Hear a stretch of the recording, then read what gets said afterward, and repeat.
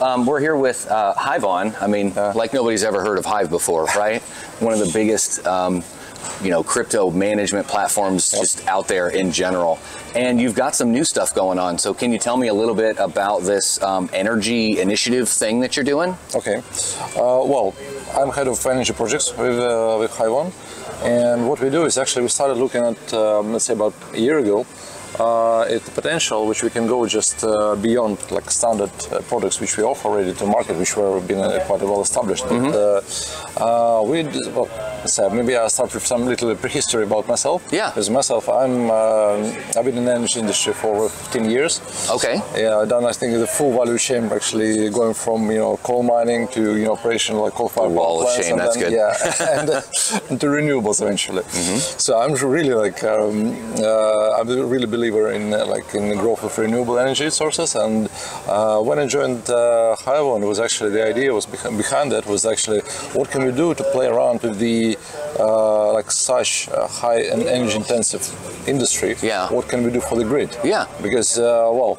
Uh, I've, I've been, you know, like uh, I've been like, up and down in the road with the construction of renewable energy sources, and I know how difficult it is to actually to get the interconnection. And the thing is, uh, when uh, well, when you get connected, like with the, like uh, let's say solar uh, solar plant, the biggest challenge is actually its uh, its intermittency and variability because you need to well, the sun is doesn't always shine, and you have day and Right, night. yeah. This is a big problem. And when you have actually a stable and predictable load of comparable sizes like uh, well with the crypto mine, Mm-hmm. then you can have actually tap the full potential of uh, stabilizing the grid. You can Okay. use this industry Yeah. to actually to well to execute things like you know well demand response we all heard about it, but this is kind of mechanism. Okay. But actually the physics, the physics behind it is is that uh, you need to have a grid stable in terms of that uh, well you know the load. Uh, the power production and the load on the grid has to be equal all the time. Okay. So Yeah. you can never match it like in, uh, like ideally, right? Yeah. Uh, so you need to have some kind of resources either keep reserved from the generation side or uh, have the potential to curtail uh, like on the demand side. Okay. So when you look this uh, this industry actually, well, it's an ideal uh, example actually how you can execute uh, such things as grid balancing. Yes. So you know we decided to play around in Hiveon how we can bring these solutions to our clients, and uh, we actually we have quite a lot of things coming up. We have uh, new features on our operation system. Okay. And uh, the given the fact that we actually control the miners from the firmware standpoint of view, and we actually offer our clients a full ecosystem of uh, you know firmware control and the um, operation system and the farm management, then I think we'll, we'll well definitely beat the market and uh, will be the best solution.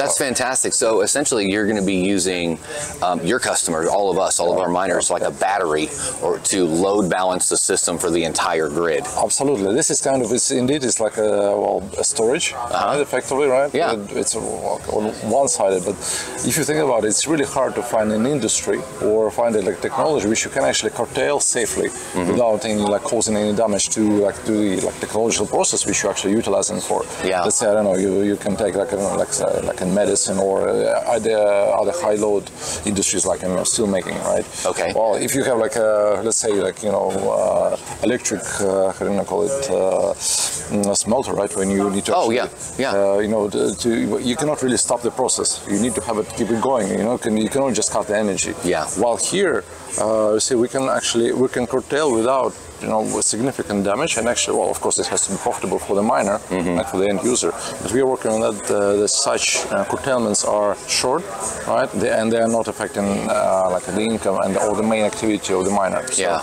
that's the idea behind it Very cool. So you're you're almost like a broker with the energy industry Exactly. and the miners, so that they can get compensated for their downtime, Absolutely. while the energy company can continue to run at you know full tilt or whatever their their production you know value is. So if they're at you know percent, it's eighty percent load, Yeah. and we're pushing you know twenty percent of that eighty percent, and they need more power over here. We can bring that down to ten percent and give Yeah. them the extra ten percent, and our, us as miners would get paid. Absolutely, and the, you see, uh, the more renewables uh, introduced into the system, uh, it's actually well, this is a trend which will not uh, well, definitely in our lifetime we'll see a lot of things happening in the energy sector. Yeah. It's actually the last decade uh, has been not just uh, well, quite life changing for uh, you know for crypto industry, but for energy industry as well. You know, and renewables suddenly become the, the cheapest energy source. Yeah. Uh, because you know well, right now when when someone considers to invest into renewable energy, or sorry, into energy sector at all, just any uh, you know power production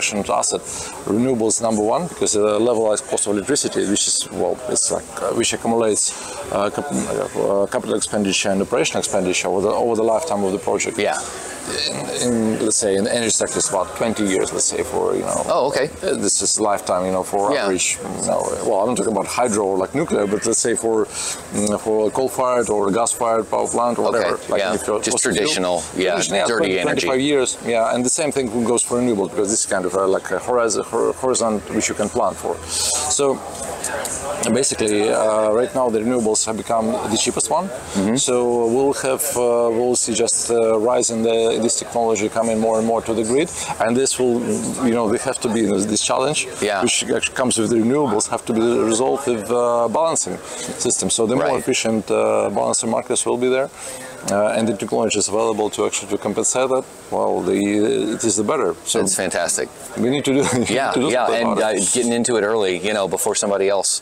Exactly, That's fantastic. Well, and there's, you know, I'm sure there's other people getting into it as well. But being some of the, you know, the largest uh, platform that you are, I think, uh, really helps going to kind of push that along the way as well. Well, we are we're trying to explore this potential, Yeah. which we have, and the, the client base, and uh, well, we, we have a trust of our clients, and uh, we believe that this will be really the future, especially for you know this is kind of a synergy between the energy market and the uh, you know and, and crypto industry. Yeah.